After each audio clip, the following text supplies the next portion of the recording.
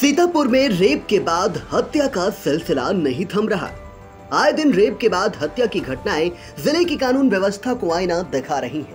ताज़ा मामला तंबौर थाना क्षेत्र के ग्राम सुमेर डीह का है, जहाँ एक दलित युवती के साथ तीन लोगों ने दुष्कर्म कर घर के कमरे में फांसी के फंदे से लटका दिया, जिसके बाद पूरे इलाके में हड़कम समझ गया। वहीं गाँव में मातम छा गया।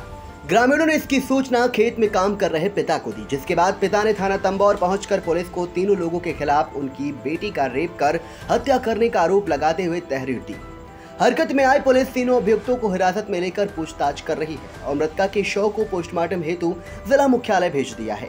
बताते चले कि तंबौर थाना इलाके के सुमेरडी निवासी 18 वर्षीय सोनू कुमारी की पिता राम सनीही गौतम ने आरोप लगाया कि उनकी बेटी के साथ आके पुत्र हियार निवासी मक्का पुरवा ने अपने दो साथियों संग मिलकर दुष्कर्म किया और उसे जान से मारकर कमरे में दुपट्टे से लटका दिया।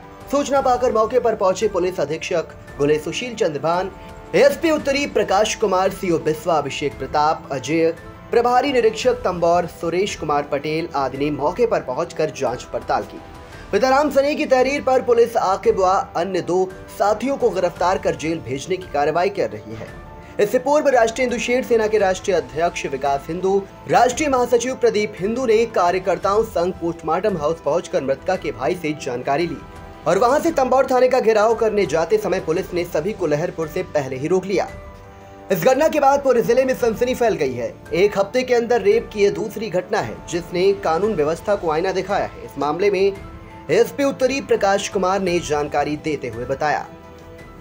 आज दिनांक 10 छः 2023 को थाना क्षेत्र तंबौर में घटित घटना के संदर्भ में अवगत कराना है कि मृतका के पिता की द्वारा दिए गए तहरीर के आधार पर सुसंगत धाराओं में अपराध पंजीकृत किया गया है। तहरीर में आरोपित तीन अभियुक्तों की को नियमानुसार हिरासत में ले लिया गया है। सबका पंचायतनामा करा करके पोस्टमार्टम हेतु जिला अस्पताल सीतापुर भिजवा दिया गया है।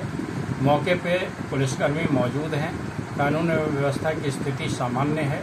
प्रकरण में संपूर्ण विवेचनात्मक कार्रवाई पूर्ण करके शीघ्रतापूर्वक इसे न्यायालय प्रेषित कराया जाएगा, ताकि शीघ्र ही फास्ट ट्रैक कोर्ट में इसका विचारण करके अभियुक्तों को कड़ी से कड़ी सजा नियमानुसार दिलवाई जा सके।